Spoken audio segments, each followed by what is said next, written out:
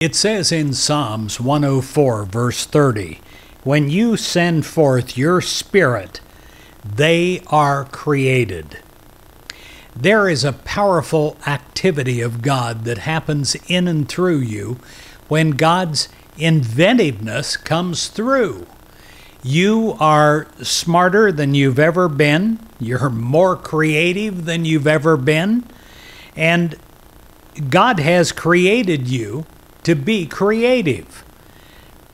Pretend for a moment that you're a time traveler and you're there with Michelangelo and you begin to watch as he turns a block of stone into a statue. It's amazing to see this great artist chipping away, never giving up until a magnificent statue of David or Moses finally emerges. Well, perhaps today you are working on your own block of stone.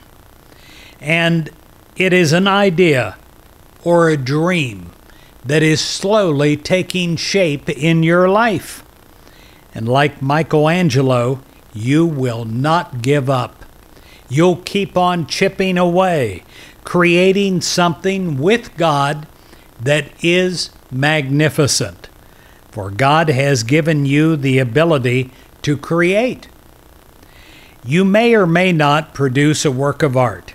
Your special ability, well, it may be uh, creating a cheerful atmosphere wherever you are, or discovering a way to feed the world so that no one goes hungry, or your warm embrace may turn someone's tears into smiles.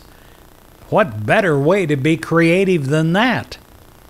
Well, God has created you to be creative, and I pray today that God sends forth God's Spirit into you and you are creative. That you have a power in you, an imagination in you, an inventiveness in you that you've never had before. And you can chip away on that block of stone in your life and create something absolutely magnificent.